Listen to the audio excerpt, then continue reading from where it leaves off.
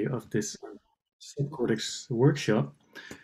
Um, just a brief recap of the format of the sessions. I'll start by giving a short introduction to the topic, and then we have three speakers today who will talk about 30 minutes each, um, followed by a short discussion and a time for questions for about 15 minutes. Um, before every new presentation, I'll try to schedule in a little break so that we can uh, stretch your legs and get a drink or relax your eyes a little bit. If you want to ask questions, please use the chat window. Um, and of course, I'll try to keep an eye on the time. So the topic of this final session is um, uncovering subcortical behavior, or in other words, trying to understand the contributions of subcortical areas to cognition. And more generally, I think you can argue that um, understanding how cognition arises from the entire brain is one of the sort of core end goals of neuroscience. And if we focus on cortex, I think we've actually come quite some way in this understanding. So in this study, for example, the authors uh, parcellated um, the human cerebral cortex uh, in 180 distinct regions based on multimodal MRI data from um, HCP. And for each of these regions, they were able to identify how much they were part of, say, visual networks and of auditory networks and of sensory motor networks. Plus, the underlying uh, MRI data also contained task fMRI data. So they had some tasks that were, for example, language tasks, which could be used to identify which regions are involved in language comprehension. Just an example. Now, of course, there are many, many open questions about uh, Cortex, about the functioning of Cortex. So I'm, I'm, definitely not trying to claim here that we're done studying Cortex, but I think that we can argue that if you ask this, this simple question of which cortical regions do, do sort of which cognitive functions, um, I do think that the literature does have quite some um, answers. Um, but of course, there's this, this, this large hole in this map, which is subcortex.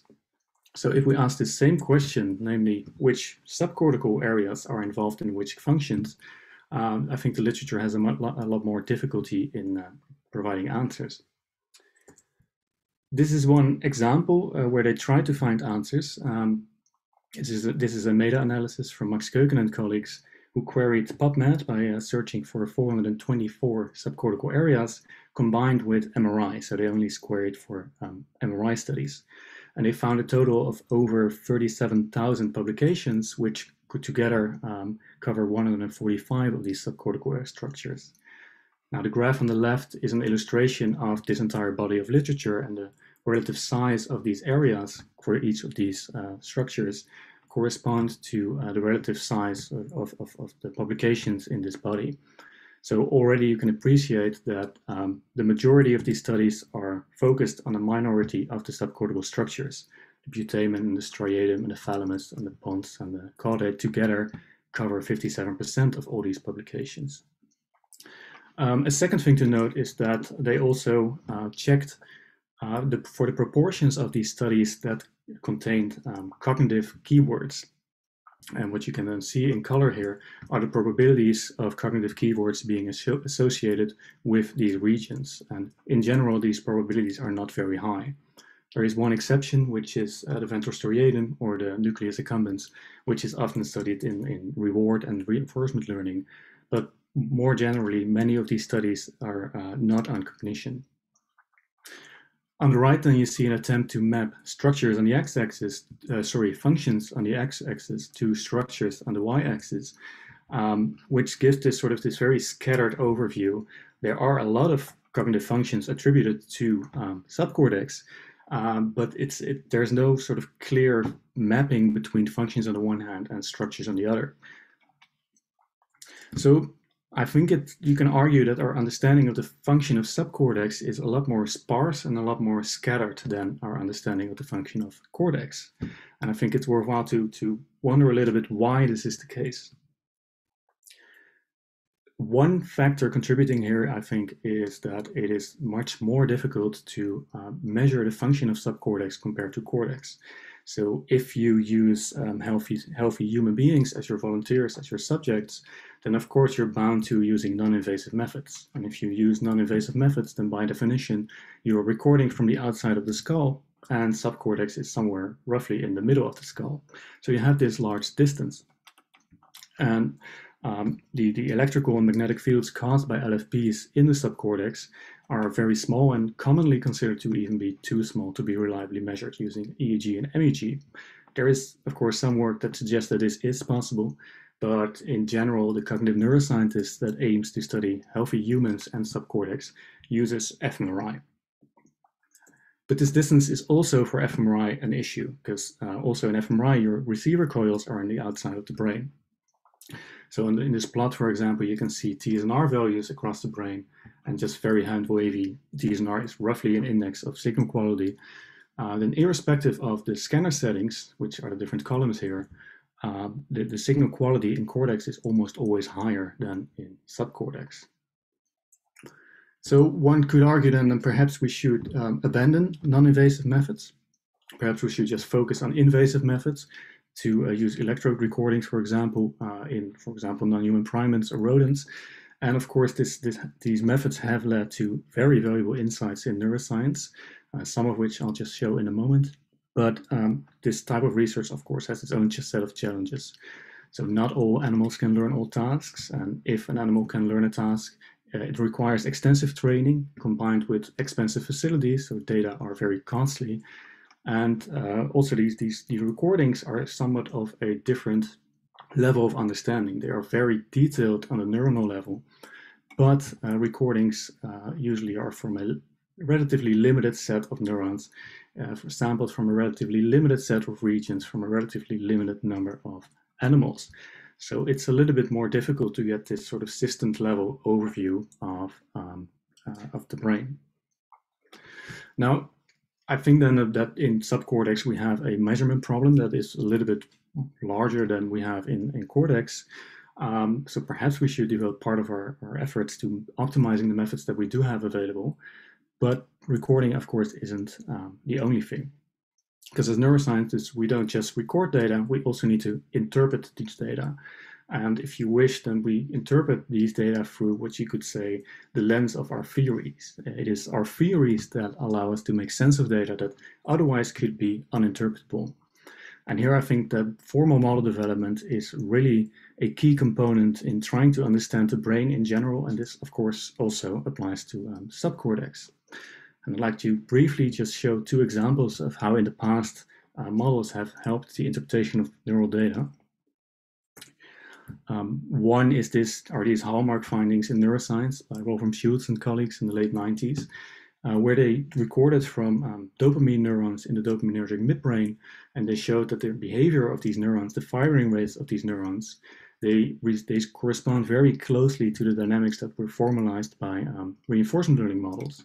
Just very briefly, the idea was, or the, their observation was that these neurons increased their firing rates uh, when an unexpected reward occurred, and they decreased their firing rates when there was an unexpected omission of a reward.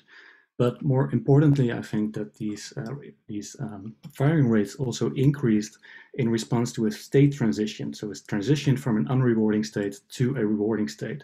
So it's not the reward per se that causes these increases and decreases, but it's it's these straight state transitions, even if uh, it's only a re reward expectancy. So even if the reward is um, delayed. And these, these behaviors of these neurons, they really appear to very closely mimic the concept of prediction errors that was formalized in the, in the reinforcement learning literature in the 80s.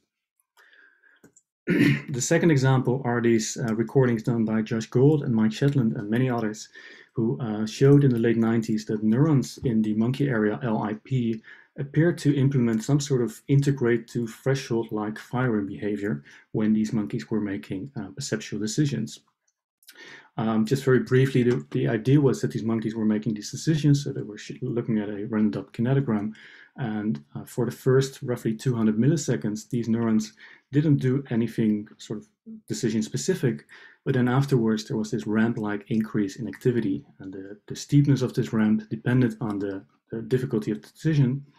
And just moments before the monkey made its choice, these uh, firing rates reach a common level of activity irrespective of the motion strength, so irrespective of the difficulty, and also irrespective of the um, uh, decision time. Now, at the time, these uh, recordings were interpreted in terms of the diffusion decision model of um, decision making, but more recently, um, there have been alternative proposals, and one is the proposal in terms of the urgency gating model, which was uh, developed by Paul Cisek uh, and colleagues in 2009. And their core proposal was that these signatures, or sorry, these, these firing rates are not just a signature of pure evidence integration, but they reflect a combination of the momentary sensory evidence plus a rapidly growing um, urgency signal. So it is really urgency here that we're looking at and not necessarily the integration of sensory evidence. Um, so what reinforcement learning and these decision-making models have in common is that you could say, well, these are models that model the uh, algorithmic level of understanding.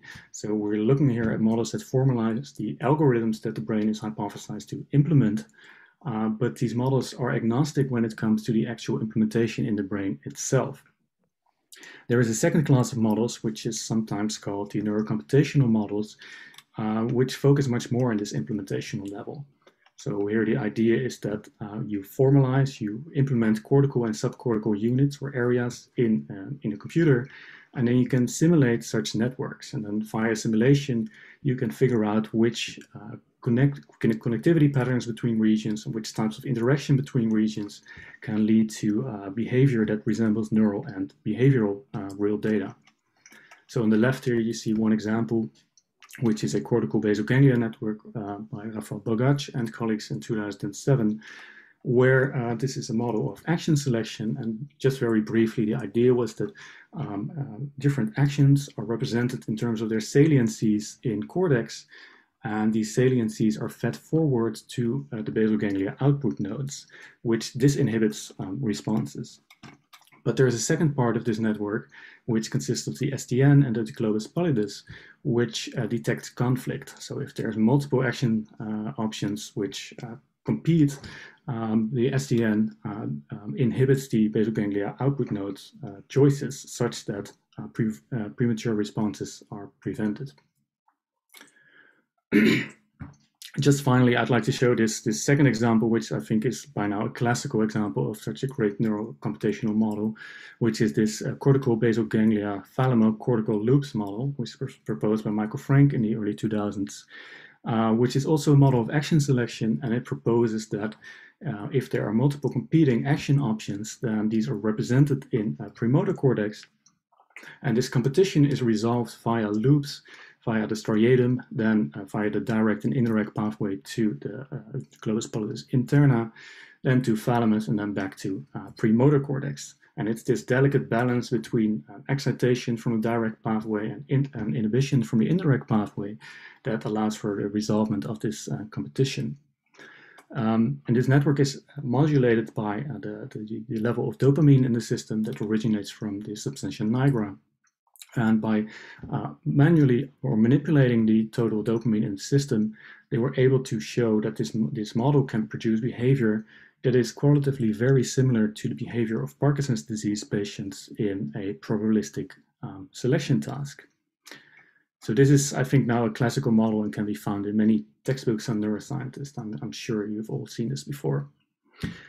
So with this brief introduction, I hope to not only have shown the topic of today, but also some of the early work of our speakers of today, who I'm very glad to announce are here to tell us more about their more recent endeavors.